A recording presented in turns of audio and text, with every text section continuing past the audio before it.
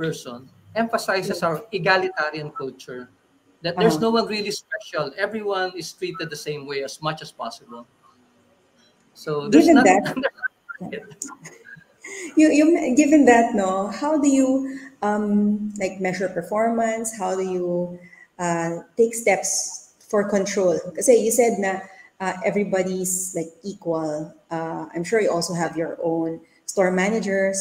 But how do you um, instill discipline?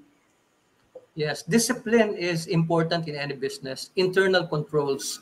So aside from our group executives who handle clusters of stores going around regularly, my wife and I we go around regularly also before the especially before the pandemic, and we have auditors who go around.